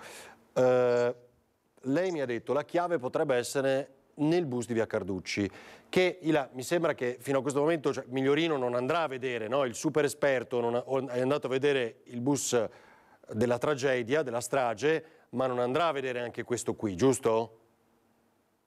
Ilaria? Allora, eh, no, eh, no, non dovrebbe, poi però non è escluso che eh, eh, possa eh, pensare anche di eh, recarsi a vedere questo mezzo. Dipende da quello che in questi giorni lui ha potuto anche visualizzare e approfondire, ovviamente. Va bene, cioè Assessore, la prima domanda è perché lei intende la chiave lì? Perché c'è qualcosa che sa... È- è su- sulla foto che avete visto, credo che sia eloquente.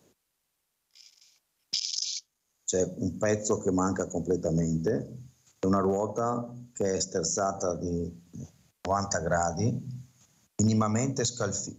Aggiungo io a mia visuale dalla, da- dalla foto, minimamente scalfita da qualche oggetto, perché se fosse entrato in quel punto il guardrail avremmo trovato una ruota totalmente forata, tagliata scalfita da un, un oggetto contundente. Cioè lei dice, quella foto è eloquente, dice questo lei, se ce la fai vedere Tony, ecco. Aspetti, aspetti, se, se ci sovrapponiamo purtroppo la- la- il suo audio va via. E la ruota non è, la, la dico male, bucata, no?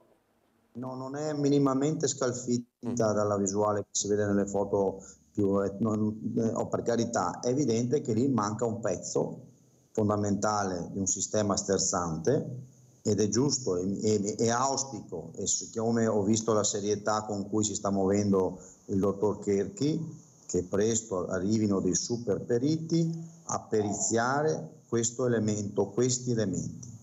Perché è evidente e ricordo a tutti che in questa parte anteriore destra per 40 metri il mezzo colpiva sistematicamente il guardrail e il guardrail non ha ceduto di un millimetro. C'era qualcosa che non funzionava forse nella ruota anteriore destra, che poi è quella che avete cerchiato bene e che è priva di un elemento fondante del sistema sterzante? Non sono né io né Lilaria Marchioni né lei Evarino, ma io so che con grande serietà si sta muovendo la procura e so che e mi auguro che presto, dopo il super perito sul guardrail, dopo il super perito sulla scatola nera, arrivi presto un super perito su questi mezzi. La gente ci chiede di conoscere la verità e aggiungo di più, come l'ho già detto, direttore, che si faccia la perizia anche sul secondo incidente. Perché è alquanto strano che a sette giorni di distanza poi qualcuno, per carità, se ha preso, gli ha preso male lo vedremo, però credo che la verifica sul server e sulla scatola nera sia necessaria anche su questo mezzo. Si è sfiorata la tragedia per poco, perché lì a un metro c'era una fermata, lo sa l'Ilaria Marchioli. Potevano esserci 3, 4, 5, 10 persone in sosta. Allora, aspetti Assessore, Tony, facci rivedere, ti prego, la foto ancora una volta. E, ripeto, non sono di noi un tecnico, ci colpisce, ma uno può immaginare, si è perso nell'incidente, nel colpo, eh, quel braccetto, ecco, eh, lo definisco così, o magari caduto in precedenza? Non lo sappiamo, no? Ecco, però vediamo che a sinistra c'è, a destra manca e, e- e- e, mm, nulla possiamo dirci di più se non eh, eh, commentarla in questa maniera perché, ripeto, può significare tutto come niente. La seconda cosa è a Seggiano, cioè noi abbiamo mostrato con il servizio della Marchiori che, eh, come riferito dall'intervista all'autista, ex autista che non voleva eh, rivelare la sua identità, lì c'è difficoltà a girare. Eccole qua nelle immagini proprio eh, girate da Elena Marchiori e Anna Maria Parisi, che ehm, alcuni riescono a affrontare tranquillamente la rotonda, altri come questo, ed è a gasolio questo Ilaria, giusto? Sì, sì, sì, questo qui sì. È a CTV? Sì. Direttore, posso parlare? Prego, Assessore, qui, cosa, qui no. cosa sapete?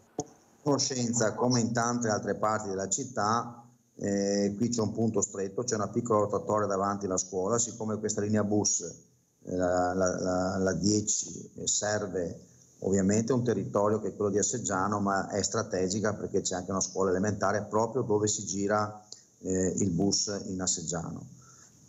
E sappiamo da anni, insomma, questo è un problema che esiste ormai da vent'anni, questa rotatoria molto stretta, tant'è che insomma, corriamo i ripari e nel 2024 avremo finalmente un'area parcheggio a fianco a quella rotatoria molto più ampia e una nuova ciclabile che metterà in sicurezza tutta la via Asseggiano.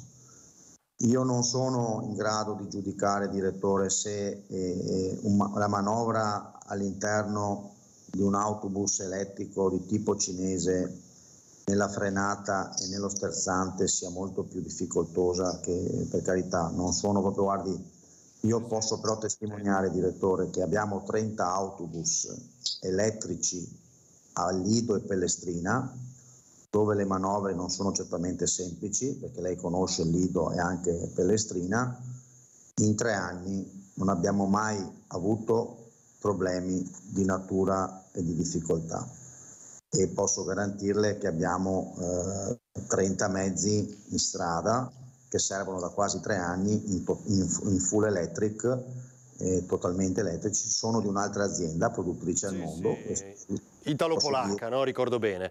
Però per contro Fiorese, che appunto importa per la Yutong, mi pare in Italia, eh, no? dice ce, ce ne sono 100 che girano in Italia di questi E12 Yutong, no? quello eh, coinvolto nell'incidente e quindi insomma, no, non rileva eh, eh, problematiche al, al, di là del dramma appunto verificato. Ilaria, che cosa vuoi aggiungere tu? Io vorrei aggiungere che quanto ha detto l'assessore Boraso a proposito di quella ruota eh, è vero perché eh, noi abbiamo appunto anche altre fotografie, immagini in cui questa ruota si vede e non ha eh, alcun danno, non c'è eh, alcun danno proprio al eh, pneumatico, tantomeno al cerchio, cioè la ruota eh, sembra non aver subito alcun danno, quindi proprio a confermare eh, quanto ha detto l'assessore e, e anche noi appunto eh, l'abbiamo visto, l'abbiamo appurato e l'avevamo detto. Però io voglio, dire un'altra co- voglio chiedere un'altra cosa all'assessore Boraso.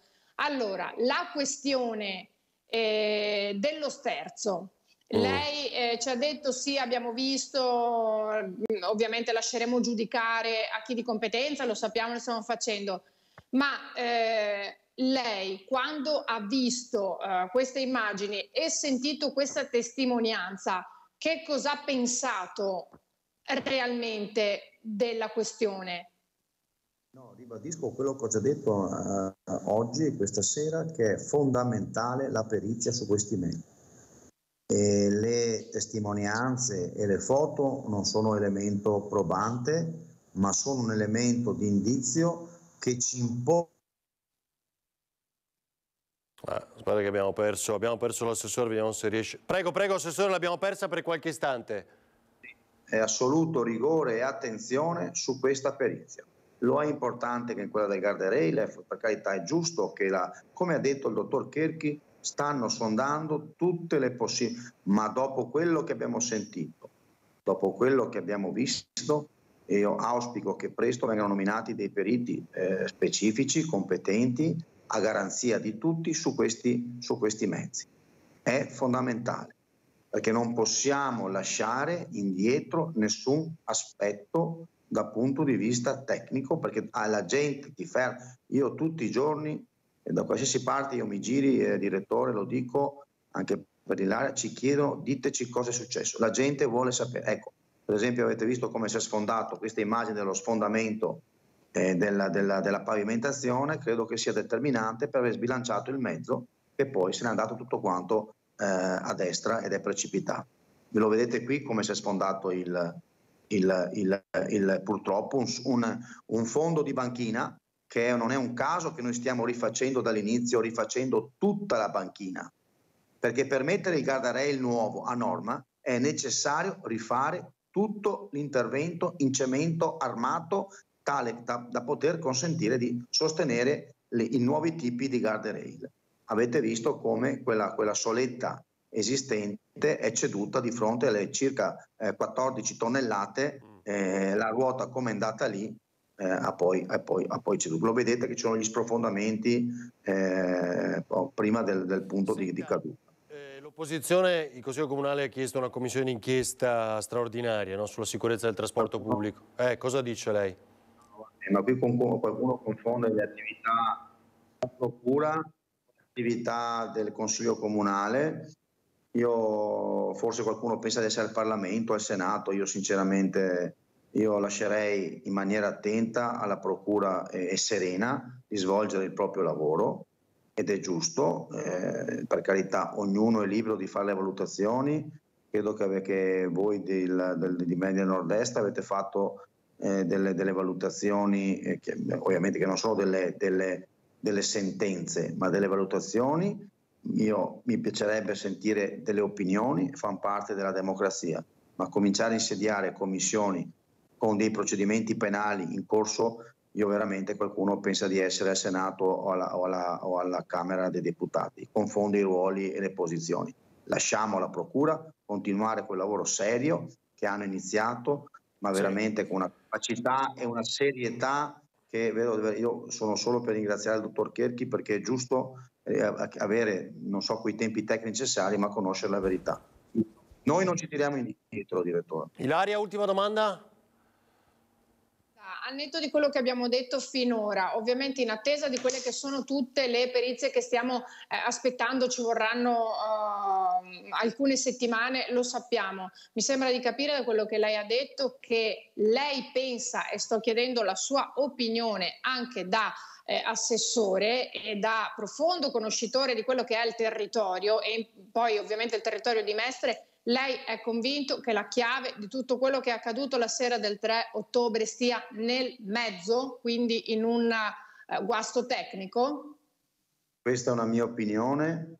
E dal mio punto di vista credo che una buona parte della verità arriverà dalle analisi attente di, di questi mezzi, sia del primo anche forse del secondo nulla di più può capitare quando si, ci si trova di fronte a un'innovazione tecnologica. Eh, possono, credo che eh, a livello mondiale eh, molte marche, non voglio far nomi, hanno poi ritirato i mezzi per sottoporli a revisioni attente, decine di migliaia di mezzi. Io credo che possa capitare. Dalle valutazioni che emergono, eh, però non siamo tecnici, io eh, sostengo questa eh, opinione. Sarà la Procura nel seguito delle valutazioni, eh, attendiamo attentamente perché la gente chiede, chiede, di sapere la verità, questo è, è vero, pensiamo ai, ai, 21 persone defunte, a, a, tutti, a, tutti, i feriti, tra l'altro siamo fra poco nel giorno dei, dei defunti. Quasi un mese. Ah sì, una, certo, tra l'altro. Una grande preghiera per tutte queste famiglie, io, io qualche notte ogni tanto mi, mi sveglio improvvisamente perché lo dico e lo ribadisco quello sì. che ho visto quella notte non auguro a nessuno di ed è quasi un mese dall'incidente. Allora, le chiedo solo davvero l'ultimo flash. Abbiamo detto che già 12 dei 18 sono tornati in circolazione per quanto riguarda sì. ecco, il trasporto dei mezzi. Lì l'analisi avete fatta fare voi, giusto, di questi mezzi, approfondita, compreso il tema dello sterzo, compreso l'impianto frenante, immagino, e se di quell'altro mezzo, quello incidentato, la farete voi, no? No, eh, credo che ci sia uh, la Procura della Repubblica che ha incaricato un altro PM per vederci chiaro. No, di quello di Via Carducci, dicevo, quello di Via Carducci. Eh, no, eh, ribadisco, okay. guardi che c'è un altro eh, pubblico ministero che si sta occupando anche di quel mezzo e, eh, e la Polizia Giudiziaria se ne sta occupando da un punto di vista eh, tecnico. È evidente, noi ci siamo occupati degli altri 18, i primi 12 hanno avuto esito positivo, però ricordo che sono revisioni sulla base delle prescrizioni dettate dalla motorizzazione civile. In questo paese, perché forse qualcuno se lo dimentica, la circolazione dei mezzi come questi autobus e tutti gli altri autobus avvengono su prescrizioni della motorizzazione civile. Noi controlliamo che tutti i documenti siano in ordine. I primi 12 mezzi hanno ripetuto la revisione grazie a questa società eh, prescritta dalla motorizzazione civile. Oggi hanno consegnato la documentazione degli ultimi sei. Entro due giorni, penso che se, se dei documenti sono eh, corretti, verranno rimessi in rete anche gli ultimi sei mezzi. Senta, però, però... anche a lei, Assessore, risulta anche a lei che in realtà i 15 feriti diciamo, lievi non fossero tutti lievi? Sì, mi dicono che ci sia qualcuno che non sia proprio lieve, però poi eh, io, io, auguro pronta guarigione. No, io parlo persone. di Via Carducci sempre, no? Sì, sì, di Via ah. Carducci, io auguro pronta guarigione, eh, ovviamente, però eh, voi capite che poi eh, scattano le denunce e tutto ciò che ne consegue di fronte a un incidente così serio. Non c'è dubbio. Allora, eh, vabbè, almeno il tempo di salutarlo. Vediamo. Ecco, Assessore, grazie, avevamo perso la linea ma volevo ringraziarla. Grazie a Renato Boraso e grazie come Hello. sempre a Ilaria Marchiori. Eh, per il prezioso lavoro. Grazie a tutti. Buonasera. E soprattutto a voi che ci avete seguito.